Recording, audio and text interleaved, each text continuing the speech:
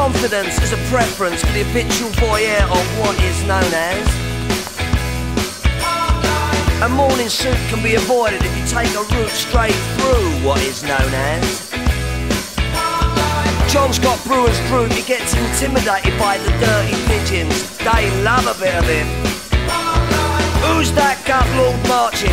You should cut down on your pork life, mate. Get some exercise.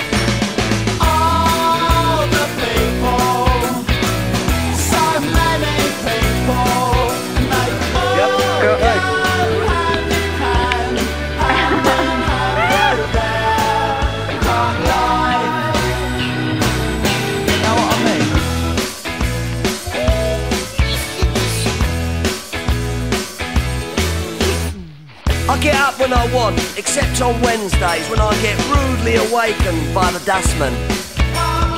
I put my trousers on, have a cup of tea, and I think about leaving the house. I feed the pigeons, I sometimes feed the sparrows too. It gives me a sense of enormous well-being. And then I'm happy for the rest of the day, safe in the knowledge there will always be a bit of my heart. Oh,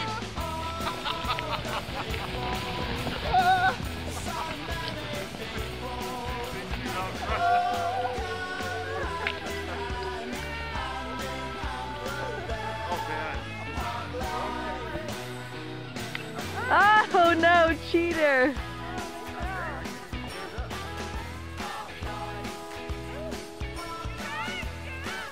Get up!